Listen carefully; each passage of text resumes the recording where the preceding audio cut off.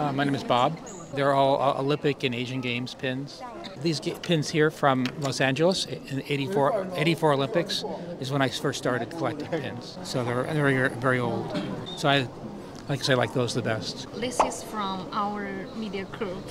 We're Okay. local media. So can I change? Sure. Oh, This is a- called Stars, Yes. Stars in Motion. That was the symbol for those games. So all these are stars in motion. oh, so can I get this one? Sure. Okay, thank you so much. You're welcome. Everyone's very, very friendly. Had a wonderful time. Games are w- really well organized. They did a wonderful job. I'd like to take my family here. It's a very beautiful, very modern city. Uh, I, I I was amazed how modern and clean it was. It's just a beautiful place.